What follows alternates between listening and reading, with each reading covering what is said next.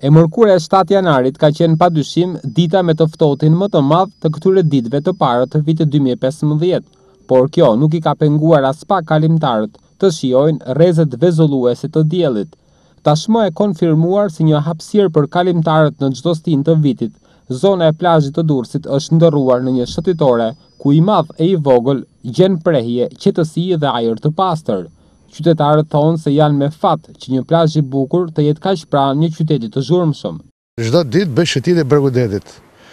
Për arsye se kështu shëtitja mban trupin në formë, e kupton? Ashtu, vën lëvizje qarkullimin e gjakut, edhe edhe të jep edhe frymëzim. Kjo është.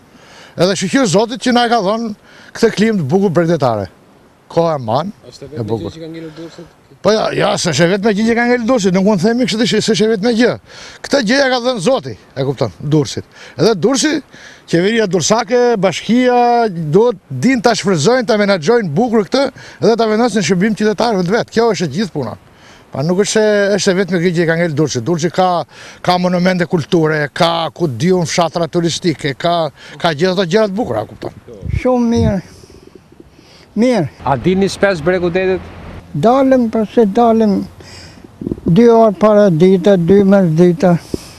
Unë rri për momentin jashtë, se kam ardhë për pushime këtu, Durrësi është fantastik, ambient shumë i bukur. Për t'u çlodhur, për gjithçka. Do të rrini gjatë? Për momentin duhet të shkoj se jam i zënë, duhet të punoj. Shpresoj se do vi shpejt, së shpejt këtej. Do të kthehem këtej patjetër. Do shumë bukur. Do të largoheni me kujtime shumë të bukura nga Durrësi. Shumë bukur, normale, shumë bukur. Më shumë mirë këtej, fantastik. Në krahasim me plazhet e Greqisë? Okej, edhe ne në një po shumë bukur këtej. Preferoni shumë shpesh të bëni shëtitje bregdetit? Po, më pëlqen. Po këto ditë ka bërë shumë ftohtë edhe jemi mbyllur më shumë në Po tani sapo doli dielli? Tani sapo doli dielli është më mirë. Mjediset shlodhëse në Durrës janë vërtet të pakta, ndërkohë që të vetmet hapësira të denja për kalimtarët janë shëtitorja bregdetare Taulantja dhe brezi i rërës në plazhin tradicional. Gjithsesi, qytetarët nënvizojnë se qyteti duhet të shfrytëzojë në maksimum bukuritë që natyra i ka falur Durrësit.